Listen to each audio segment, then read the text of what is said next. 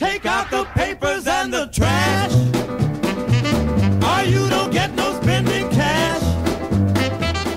Yeah. Been Baggies fans ever since uh, I can remember football.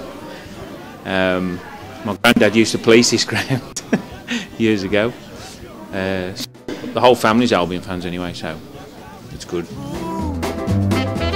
Get all that garbage out of sight. They won the cup in 1954, and uh, I can remember watching the game, and uh, we scored with two minutes to go, and I, I took off. Did. I went to the toilet outside. I had a bar of chocolate in my hand, and uh, I missed all the celebration. They couldn't find me. Uh, so when I come out, they got the cup, and everybody was drinking.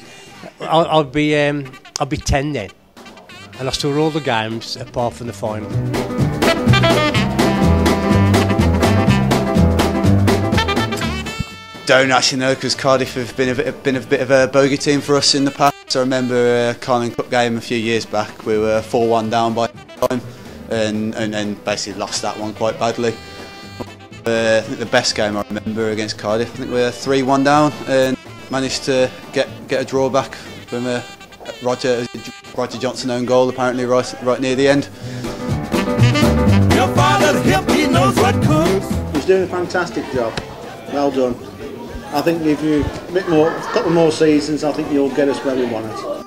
I don't think we're going to win the league, but we will be, you know, contenders.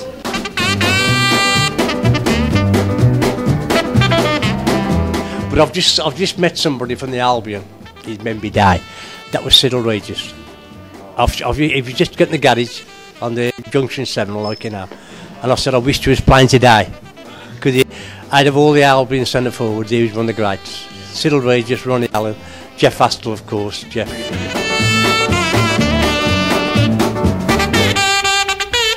He's a new It's his fan. first it's his game. very first game today, so we're really excited, aren't you, Matt? Yeah. The next generation of Albion supporters. And why do you like Ben Foster?